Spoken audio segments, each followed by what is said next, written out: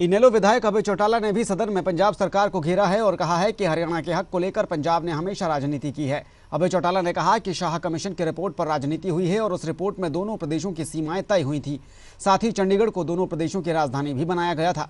वहीं एस पर बोलते हुए अभय चौटाला ने कहा कि सुप्रीम कोर्ट ने एसवाईएल पर हरियाणा के हक में फैसला सुनाया था और एस के लिए भी हरियाणा ने एक लंबी लड़ाई लड़ी है।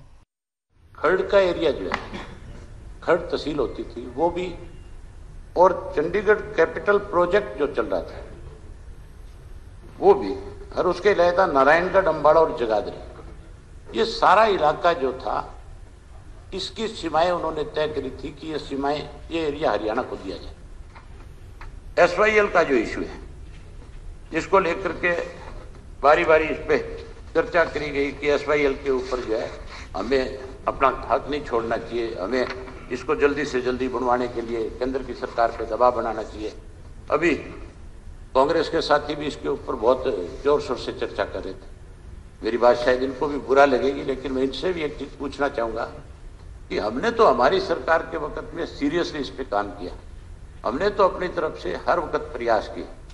चौधरी भूपेंद्र सिंह हुड्डा दस वर्ष प्रदेश के मुख्यमंत्री रहे थे। और चौधरी भूपेंद्र सिंह हुड्डा ने अब तो बहुत ज़ोर लगाया इस बात के ऊपर। कि एसवाईएल का पानी हमें हमारे हिस्से का मिलना चाहिए।